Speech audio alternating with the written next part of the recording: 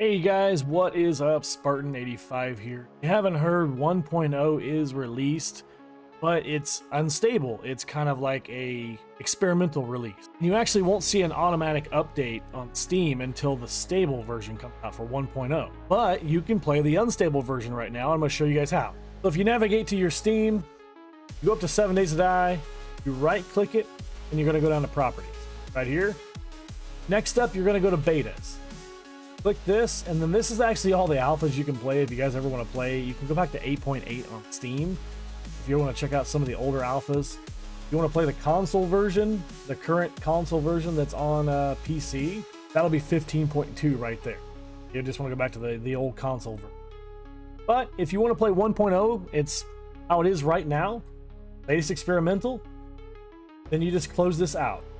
And then you're going to click update. That'll update to the latest 1.0 experimental. Now let's say you're playing an experimental or unstable and you want to go back to one of your old saves from Alpha 21. You can do that. You just have to go to properties, go back to betas, and then go back to Alpha 21.2 stable.